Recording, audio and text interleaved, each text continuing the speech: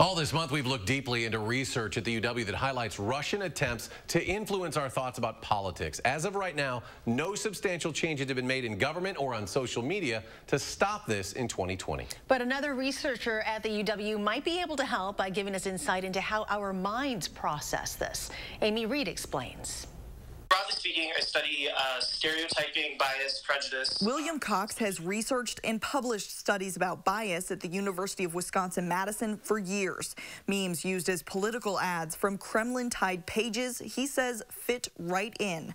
Like this one, labeling a bacon-covered U.S. map as a Sharia-free zone. That's basically saying we don't want those kinds of people here and they're not supposed to be here. And that's the kind of stuff that can go on to perpetuate worse and worse kinds of hate and, and bias. We've shown you before, these memes can blend in. They're posted by pages that look domestic, even Midwestern, like this Iowa Patriot. And they're targeted based on your previous social media use, both conservative and liberal.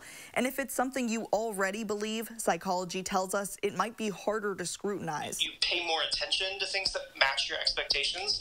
Um, and even when you have like uh, information that matches your expectations and information that contradicts them, your brain actually gives more weight to the information that um, supports your expectations. It's a phenomenon called confirmation bias. In Cox's research, he gave people three times more evidence against their current beliefs, and participants still walked away without changing their minds.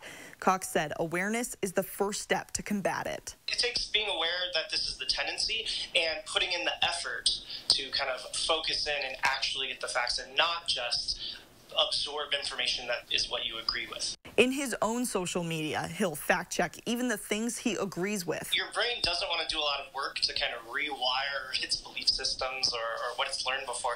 And so if it's something you kind of agree with, very often people will like read the headline of an article and the headline generally fits what they think. And so they're like, okay, good, I'm right. Like having to like change your opinion or change your perspective. Takes more effort and generally you, you don't aren't going to want to do that. But you have to because there's no government intervention in place to prevent foreign ads.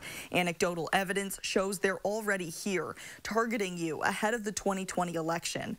And though they start off as bias, research in 2016 showed their goal is to keep you from wanting to vote for anyone on election day.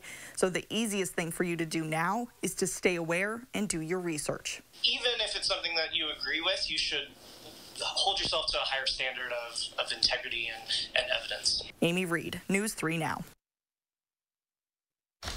This story is part of a series. If you would like to read or watch more of the stories we've included, or for more election and politics news, head to channel3000.com.